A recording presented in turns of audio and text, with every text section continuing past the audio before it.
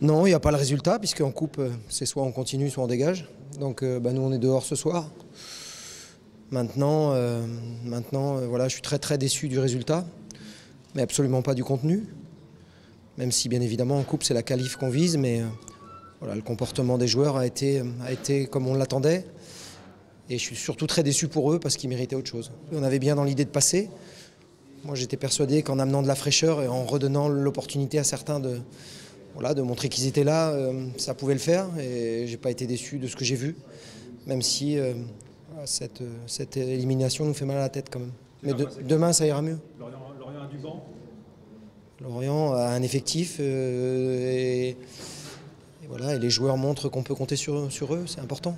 C'est ce qui est important pour la suite du championnat Oui, c'est important pour la suite du championnat, c'est important pour, pour le collectif et puis individuellement aussi pour la confiance des uns et des autres, de montrer qu'on est là.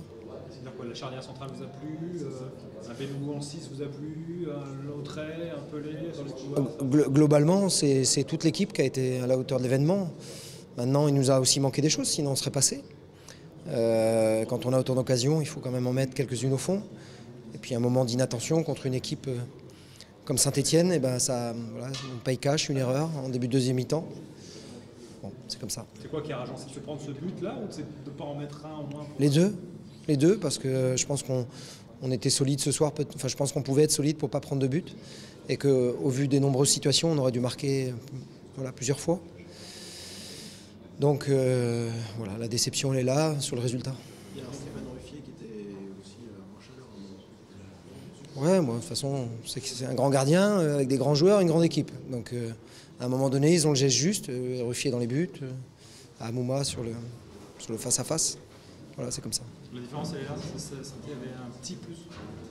Euh, non, non, non, non. Ce soir, je pense qu'on était, euh, on a, on a été à la hauteur du match contre une équipe de Saint-Etienne que tout le monde, voilà, on n'a pas besoin de la présenter. Il fallait être à la hauteur de l'événement, on l'a été. Il y a juste le résultat qui n'est pas là. Les enseignements, l'enseignement pour la fin de la saison de ce match. L'enseignement, c'est que dans le contenu, on, on continue à avoir des choses intéressantes et qu'on n'a pas, voilà, on casse pas cette dynamique-là qui est importante et que je pense que si on, même des matchs comme ce soir, si on en reproduit, on gagnera des matchs.